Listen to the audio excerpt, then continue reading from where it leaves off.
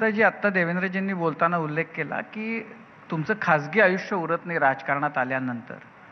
तुम्हाला राजकारण आणखीन आमदार वगैरे याच्यापासून तुम्ही लांब होतात जेव्हा तुमचं लग्न झालं तेव्हा. लग्न झालं देवेंद्रजी मुख्यमंत्री झाले मुख्यमंत्री पदाबरोबर मुख्यमंत्र्याची बायको म्हणून अनेक गोष्टी तुमच्या वाट्याला आल्या. तुम्ही काय काय गमावलं असं तुम्हाला वाटतं? हे खाजगी आयुष्य उरत नाही हे काहीतरी मिस करताय तुम्ही ते असं तुम्हाला वाटतं? नक्कीच लग्न झाल्यावर देवेंद्रजींचा जो व्याप मी पाहिला आणि लोकांकरता करायची त्यांची वृत्ती आणि त्यात त्यांनी स्वतःला झोकून टाकलेलं पाहिलं तेव्हा मला लक्षात आलं की मी जन्मभर एक गोष्ट मिस करणार आहे आणि ती म्हणजे प्रॉपर कम्पॅनियनशिप जी मी करते मिस पण मी हे ठरवलेलंच आहे आणि सांगितलेलं पण आहे की देवेंद्रजींना मी महाराष्ट्रासाठी देशासाठी वाहून टाकलेलं आहे. राजीवजी असं आहे की सिनेमाच्या आधी जशी चेतावणी असते तशी मी तिला दिली होती.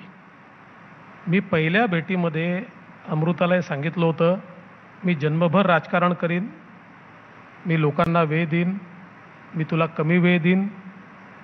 आणि दुसरं तिला सांगितलं होतं मी पैसा कमावणार नाही तुला एक पैसा देणार नाही तुझा एक पैसा मागणार नाही तुझे पैसे तू खर्च करायचे माझे मी खर्च करीन आपण एकमेकाला मागणारही नाही देणारही नाही. इतकं मागितलं यांनी खूपदा.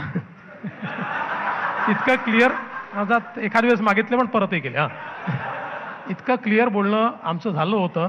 आता जेव्हा मी तिला अशी आठवण करून देतो तेव्हा ती म्हणते की त्यावेळेस माझं लक्ष दुसरीचकडे होतं. मी ते नीट ऐकलंच नव्हतं. असं राजकारणही उत्तर मला ती देते. पण हे मी तिला पहिल्या भेटीमध्ये क्लिअर केलं होतं. अमृताजी त्यांनी इतक्या स्पष्टपणानं सांगितलं होतं तुम्हाला. तुमचं लक्ष नव्हतं का ते काय बोलतायत त्याच्याकडं? हं. आता जर फिफ्टी फिफ्टी मध्ये इतकं मोठं कन्फ्युजन होऊ शकतं तर मला तर होऊच शकतं.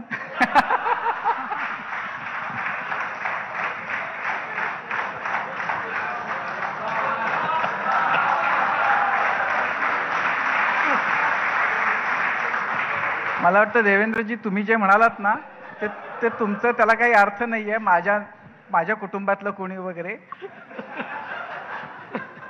मला मला म्हणूनच आनंद आहे की तिला यायचं नाही आहे यायचं असतं तर माझी सुट्टीच होती.